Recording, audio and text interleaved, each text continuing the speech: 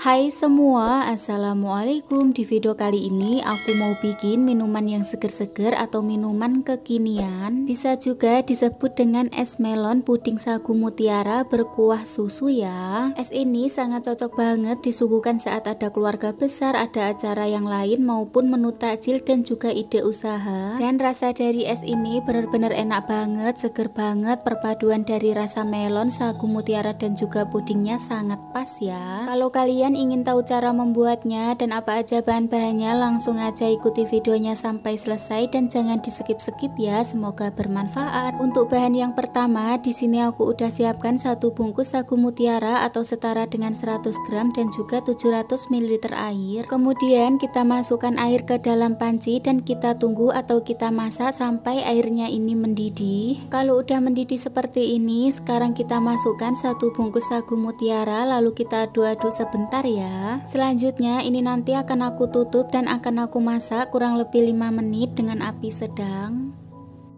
setelah kurang lebih 5 menit, sekarang kita buka tutup pancinya dan kita aduk-aduk kembali. Jika udah, sekarang kita matikan dulu untuk api kompornya, lalu kita tutup kembali dan kita tunggu atau kita diamkan kurang lebih 30 menit. Setelah kurang lebih 30 menit, sekarang kita buka tutup pancinya dan kita aduk-aduk sebentar. Nah, di sini aku akan menambahkan dengan sedikit air lagi ya, teman-teman, agar nanti sagu mutiaranya ini tidak terlalu lengket. Kalau udah, sekarang kita nyalakan kompor, kita gunakan api sedang, lalu kita masak kembali kurang lebih 7 menit. Nah setelah kurang lebih 7 menit sekarang kita buka tutup pancinya dan ini belum matang sempurna ya teman-teman Selanjutnya kita matikan aja untuk api kompornya lalu kita angkat dan kita sisihkan atau kita diamkan sampai benar-benar dingin Oke ya teman-teman, sekarang kita lanjut ke langkah yang kedua. Di sini aku udah siapkan panci atau pan, kemudian kita masukkan satu bungkus Nutrijel melon. Masukkan juga satu bungkus agar-agar plain putih. Kemudian 7 sendok makan gula pasir Kalau teman-teman mau suka yang lebih manis bisa ditambah untuk takaran gulanya. Lalu kita aduk-aduk sebentar saja ya. Kemudian kita tambahkan 1400 ml air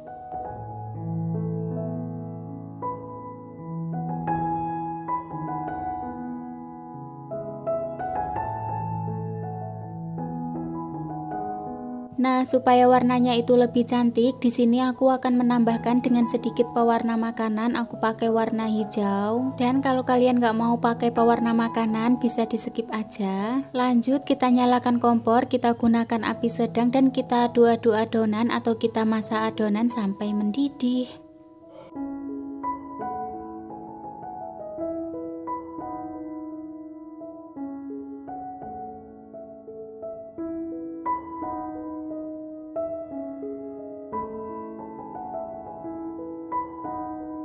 Jika udah mendidih, sekarang kita matikan dulu untuk api kompornya lalu kita aduk-aduk sebentar agar uap panasnya ini sedikit hilang. Kalau udah, sekarang langsung aja kita tuang adonan ke dalam wadah atau ke dalam loyang seperti ini. Oh ya teman-teman, ini nggak aku tuang ke dalam satu wadah, jadi ini aku akan menjadikan dua wadah. Setelah kita tuang semuanya, sekarang kita sisihkan terlebih dahulu atau kita tunggu sampai benar-benar dingin dan juga set. Nah, dan ini setelah aku diamkan sampai benar-benar benar dingin dan juga udah set sekarang kita potong-potong adonan. Untuk bentuk atau untuk pemotongannya ini sesuai selera saja ya teman-teman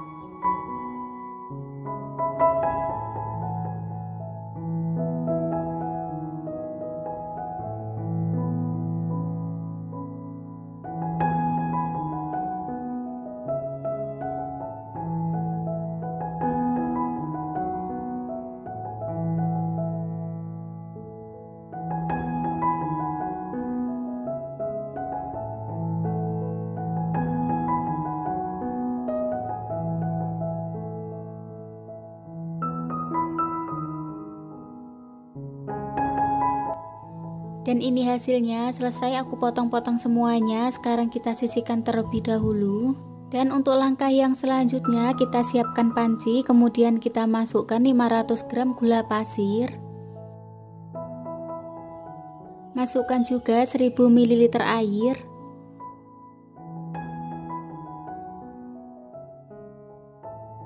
Kemudian kita aduk-aduk sebentar sampai rata.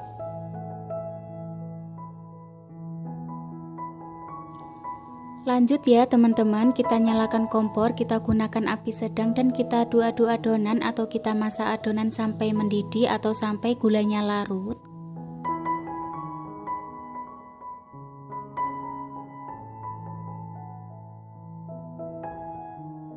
Jika udah mendidih dan gulanya larut, sekarang kita matikan dulu untuk api kompornya lalu kita angkat dan kita sisihkan. Ini nanti kita tunggu sampai air gulanya ini benar-benar dingin ya. Langkah selanjutnya kita siapkan wadah kemudian kita masukkan dua bungkus susu bubuk Denko. Kalau kalian mau pakai creamer bubuk itu juga boleh jadi sesuai selera. Lalu kita masukkan 300 ml air hangat. Setelah itu kita aduk-aduk sampai rata atau kita aduk-aduk sampai larut. Jika udah, sekarang kita sisihkan terlebih dahulu dan kita lanjut ya, kita siapkan 300 ml air. Kemudian kita masukkan 3 bungkus pop es, ini aku pakai yang rasa melon.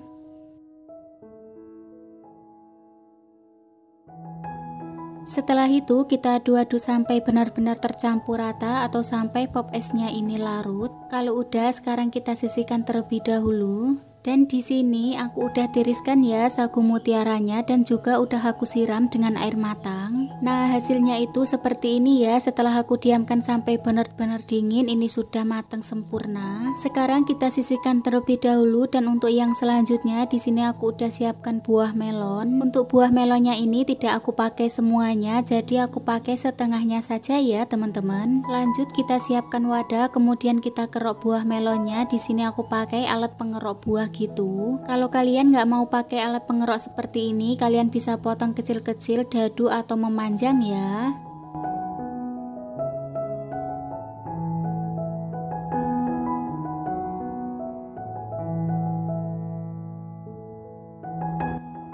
Kalau udah, sekarang kita masukkan semua sagu mutiara yang sudah kita tiriskan. Kemudian kita masukkan juga puding melon yang udah kita potong-potong tadi. Larutan susu bubuk.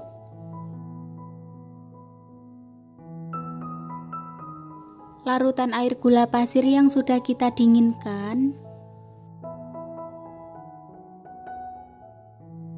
Dua bungkus susu kental manis putih, kalau teman-teman mau pakai lebih dari dua itu juga boleh, selera saja.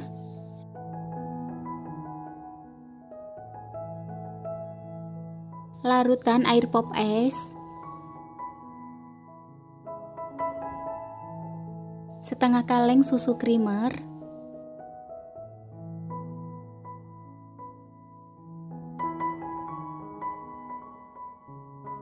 tujuh ratus ml air.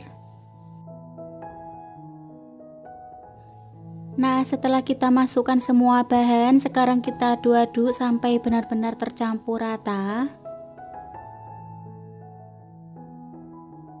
Kalau udah tercampur rata, sekarang kita masukkan adonan ke dalam wadah atau gelas cup seperti ini. Dan untuk ukurannya aku pakai yang ukuran 16 oz. Kalau kalian mau pakai yang ukuran lebih kecil dari ini itu juga boleh. Jadi kalau kalian mau pakai cup gelas yang lebih kecil mungkin hasilnya itu juga lebih banyak ya. Nah kita isi penuh seperti ini, masya Allah benar-benar cakep banget dan sangat cocok banget dijadikan ide jualan. Warnanya juga sangat seger dan cakep banget ya perpaduan dari buah melon, sagu mutiara dan juga pudingnya. Nah, supaya lebih seger di sini aku akan menambahkan dengan es batu seperti ini. Dan ini nanti aku akan incip rasa atau tes rasa. Oh ya teman-teman, saat mengincip atau tes rasa ini aku udah buka puasa ya.